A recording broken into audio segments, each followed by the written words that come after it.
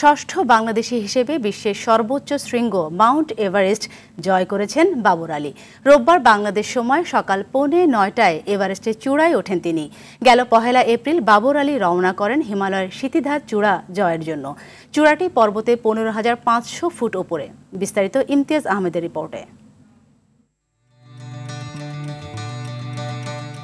আবারও পৃথিবীর সর্বোচ্চ চূড়ায় বাংলাদেশ। এবার পৃথিবীর সর্বোচ্চ পর্বতশৃঙ্গ এভারেস্টে বাংলাদেশের পতাকা উড়িয়েছেন চট্টগ্রামের সন্তান বাবর আলী। বাবরের এভারেস্টের চূড়ায় ওঠার বিষয়টি নিশ্চিত করেন অভিযানের প্রধান সমন্বয়ক ফরহান জামান। এভারেস্ট জয়ী বাবরের সংগঠন ভার্টিক্যাল রিমার্সের পক্ষ থেকে সামাজিক মাধ্যমে এক পোস্টে বলা হয়, সৃষ্টিকর্তার কৃপায় এবং লাখো শুভাকাঙ্ক্ষীর দোয়ায় প্রকৃতি মাতা বাবরকে ক্ষণিকের জন্য স্থান দিয়েছেন নিজের চূড়ায়। গেল পহেলা এপ্রিল বাংলাদেশ থেকে নেপালের উদ্দেশ্যে রওনা হন বাবর আলী। প্রস্তুতিমূলক কাজ শেষ করে চার এপ্রিল কাঠমান্ডু থেকে উড়ে যান লুকলা বিমানবন্দরে। এরপর পথ চলা শুরু করেন এভারেস্ট বেস ক্যাম্পের উদ্দেশ্যে। সেখানে পৌঁছান দশ এপ্রিল। আঠারো মে মাঝরাতে আবারও শুরু হয় বাবরের যাত্রা।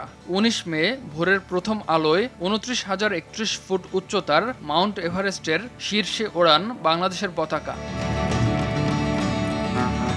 পৃথিবীর সর্বোচ্চ শিখর মাউন্ট এভারেস্টে প্রথম অভিযান পরিচালিত হয় আজ থেকে শতাধিক বছর আগে। উনিশশো তিপ্পান্ন সালের উনত্রিশ মে নেপালের শেরপা তেনজিং নোরগেকে সঙ্গে নিয়ে প্রথমবারের মতো বিশ্বের সর্বোচ্চ পর্বতশৃঙ্গ মাউন্ট এভারেস্টের চূড়ায় ওঠেন নিউজিল্যান্ডের পর্বতারোহী অ্যাডমন্ড হিলারি। দু হাজার দশ সালের তেইশ মে প্রথম বাংলাদেশি হিসেবে এভারেস্টের শীর্ষে ওঠেন মুসা ইব্রাহিম। এরপর দু হাজার এগারো ও বারো সালে দুবার এভারেস্ট জয় করেন এম এ মোহিত। প্রথম বাংলাদেশি নারী হিসেবে দু হাজার বারো সালের ১৯ মে এভারেস্টের চূড়ায় আরোহণ করেন নিশাত মজুমদার। একই মাসের ২৬ মে ওয়াসফিয়া নাজরিন জয় করেন এভারেস্ট। দু হাজার তেরো সালের ২০ মে এভারেস্ট জয়ী পঞ্চম বাংলাদেশি সজল খালেদ এভারেস্ট চূড়া থেকে নেমে আসার সময় মারা যান। इम्तियाज़ अहमद आर टी